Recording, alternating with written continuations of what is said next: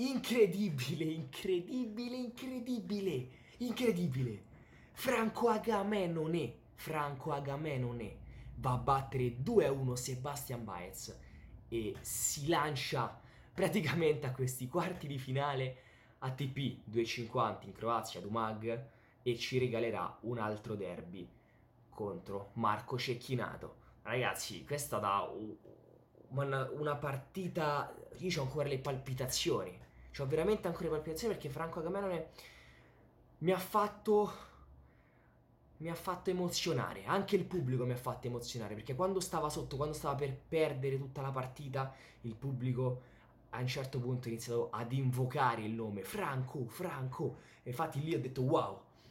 Agamenone si carica, brecca, si riprende il servizio, break ancora e chiude.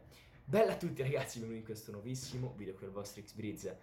Ragazzi, Franco Nagamelone, devo dire niente male oggi, ma come l'altro giorno, come alle qualificazioni, perché ha fatto un percorso fino adesso veramente incredibile, battendo l'Aslo GR 271. Oggi Sebastian Baez addirittura quotato a 6. Quotato a 6 Agamenone con una partita incredibile. Ora, Ora, io metto sempre le mani avanti col tennis, è vero Sebastian Baez ha fatto degli errori che comunque, se andiamo a vedere, sono dovuti anche alla bravura di Agamenone. Non è che Agamenone buttava le palline di là, io ho certi video perché ovviamente qualche video lo faccio anche eh, di qualche passante bello quando mi capita. Agamenone ha fatto un passante in corsa che devo dire spostatevi tutti ha giocato dei dritti belli, belli carichi in cui Baez non ha potuto fare niente. Ora, è vero che è un top 100 eh, e passa, adesso non ricordo male, 29 anni, gioca molti challenger, in maniera ATP, diciamo, non è che lo abbiamo visto spesso, soprattutto io non, non l'ho mai visto spesso, a me non ecco, eh, lo vedo molto spesso nei challenger, però ok, ma Baez, eh, non lo so, Sebastian, eh, che cosa è successo? Dopo che ha perso la finale con Serundolo a Bistad, eh, no, a parte i scherzi, ora la batosta della finale persa contro Serundolo da favorito magari può influire, ok, mentalmente. Ovviamente poi questa è la prima partita che ha giocato Baez, anche perché c'è avuto un bye e se non erro era la prima partita di questo torneo. Ora non vorrei dire cazzate, perché magari qualche stronzata eh, esce fuori. Però dovrebbe essere la prima partita eh, per Baez. sì. Sì, sì, sì, sì, sì, sì, perché ha avuto il bye, quindi sì. Non ha, non ha giocato partite prima di questa, quindi diciamo è stato... Dio, secondo me anche meglio, eh. Posso dire?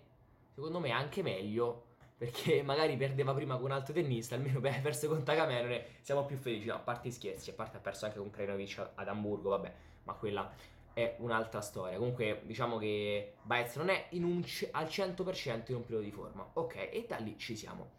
Il primo set di Franco Nagamenone finisce 6-3 per Sebastian Baez.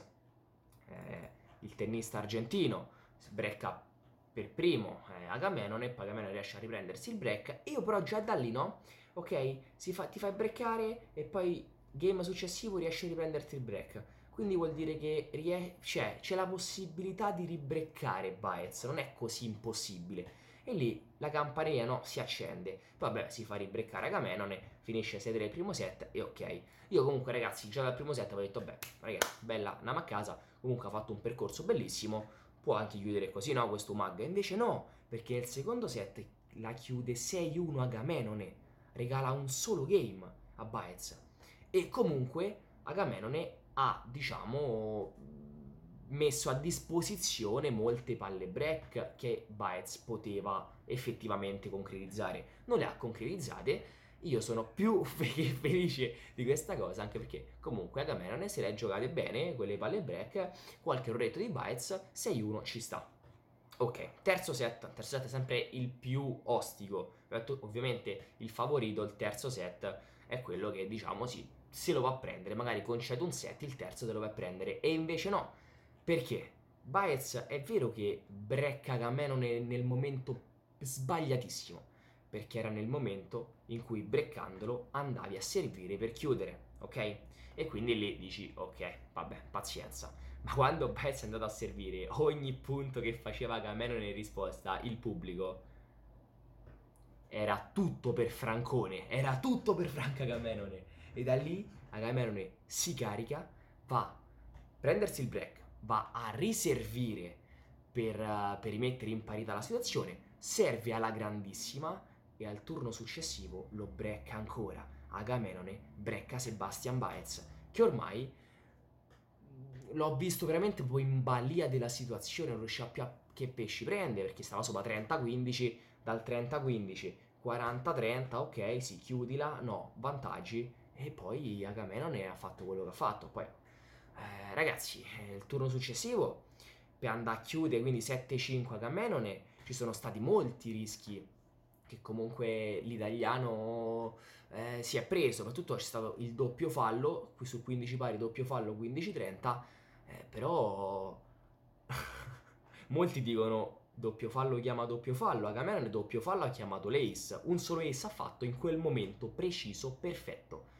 Poi ha fatto un passante della Madonna in corsa di dritto e l'ultimo punto, stavo, non so, avranno scambiato 500, avranno fatto 500 scambi e alla fine quello che è andato a cedere è stato proprio Sebastian Baez. Quindi ragazzi, domani derby cecchinato, ba... no? Non so se domani o dopodomani, non vorrei di cazzate perché domani si gioca Sinner, gioca Zeppieri.